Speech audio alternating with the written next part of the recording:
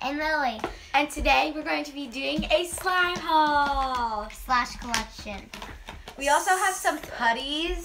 Which- so let's get Let's started. So the first putty we have is an egg putty, and it is just purple, and it's very stretchy and pulley and nice and, and stretchy. and it's it- one of the silly putty slots. so it goes in putties. this little container right here.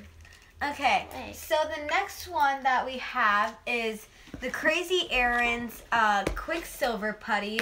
Um, it's magnetic. Uh, I don't have the magnet with me, but it's a putty. Uh, like you can bounce it. Like, Like, it, you it can't really see it, but like it bounces. like if you put it in It's stretchy. It's terry.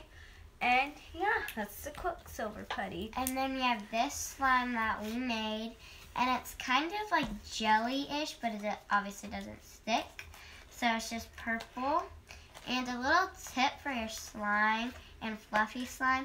If you want to stretch more, just put some lotion in it.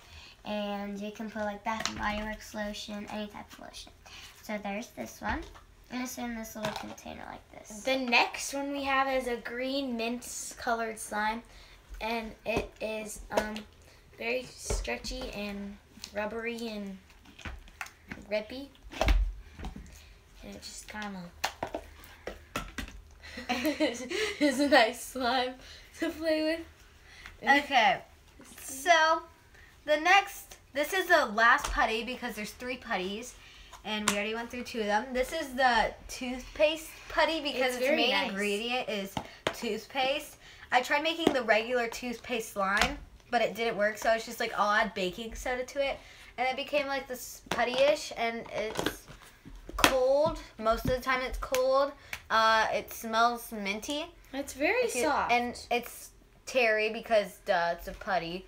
And um it's super soft. yeah, it's really And you could eat it. Baking soda in it. I know. You can eat it. Ah. Okay. I know. I try also it, added dish soap to it Ready? and hand soap. Oh, you did? Yeah, it smells like a mixture of smells. Yeah. I'm So I mean, yeah. it's a weird texture, but it's good. yeah. Yeah, and then we like- have this one, which is also made from like the same stuff as that teal green one that Ava has. And I just dyed this pink, which you can just do with one little drop of red. Um, so yeah, I got this like a recipe from a YouTube video, I think. And I just keep it in this kind of Tupperware.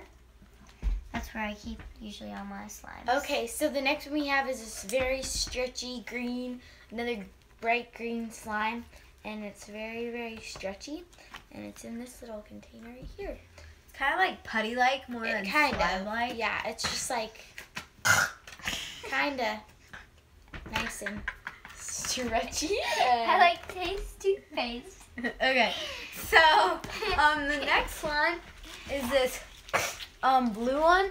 I tried making it teal, but like it didn't work. But it's very terry. I added lotion or very stretchy, sorry, and I added lotion to it, and so it smells really nice. Number one, and it's also really big because I made this with two glues, and um yeah, it's very nice and it smells really good. So yeah, Sky blue slime. This is our slime haul. So, So thank you so much for watching. And uh, like we'll and see you subscribe. later. Bye. Don't Bye. subscribe down below.